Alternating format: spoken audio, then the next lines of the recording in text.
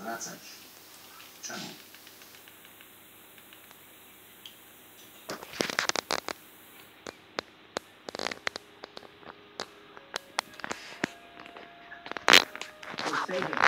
Mówią, że Bóg cieszy się, gdy widzi swe dzieci przy zabawie. Gdy wstał dzień turnieju, Bóg musiał szaleć ze szczęścia.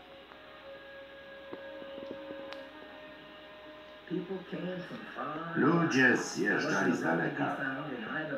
W hotelu i wszystkich pensjonatach zabrakło pokoju. Turniej zaplanowano jak mistrzostwa.